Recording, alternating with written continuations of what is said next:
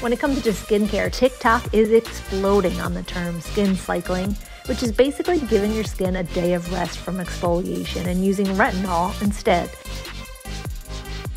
Next up, soft goth glam. It's been seen everywhere online since Netflix Wednesday became one of the most watched shows at the end of last year to achieve the look, smoky eyes, sculpted cheeks, and a darker lip shade. On to the tastiest sounding trend, the glazed donut. This glossy look came into play last year when Hailey Bieber revealed her skincare regimen and said, The whole point behind the glaze is that it leaves you looking like a delicious, yummy glazed donut.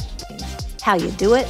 Layer your moisturizers, a cream, and then an oil on top before bed. And when you're done with your makeup, finish it off with a highlighting powder for the ultimate glow. And it's not just for your skin. This ever evolving glazed donut nail was named Google's top beauty trend of 2022, and it's ever present in 23. How to do it? One coat of white polished, topped with an iridescent shade of anything, a la glazed donut. Coquette makeup is also going viral. Hyper femininity is the hallmark of this girly look that highlights soft, pink shades and doll like eyes. Speaking of the eyes, we're loving the sexy siren looks. The longer the lashes, the better. And the more innocent doe eyed look, which gives the illusion of making them look bigger.